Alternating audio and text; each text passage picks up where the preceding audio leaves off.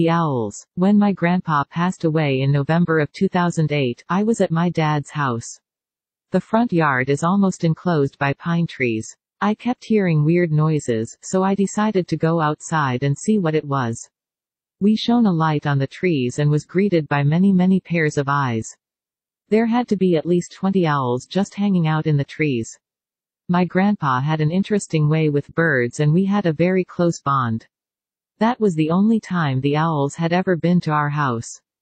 Until my mastiff passed away last year. I was home alone, brushing my teeth when I heard the familiar sound.